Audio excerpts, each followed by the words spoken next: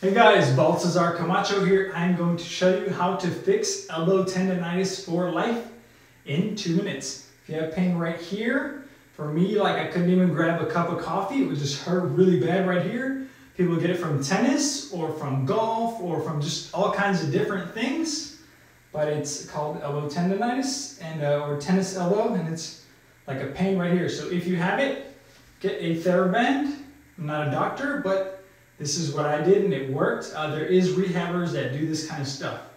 So all you do is grab it. I'm going to turn sideways. Well, I'll do one front and one sideways. So right hand, the injured hand, top grip, and then your left hand is going to be the other way, the non-injured hand.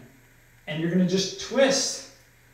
And what's happening is now the baller is pulling my wrist, you see, towards you. And so you do a few reps like that creating tension right here, adding like blood and nutrients and like kind of having the strength to strengthen that tendon. You do it once every third day for five sets of five. Within two weeks, you'll be better.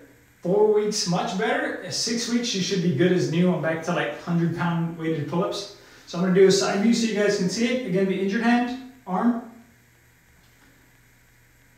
Twist. It's one rep. Two reps.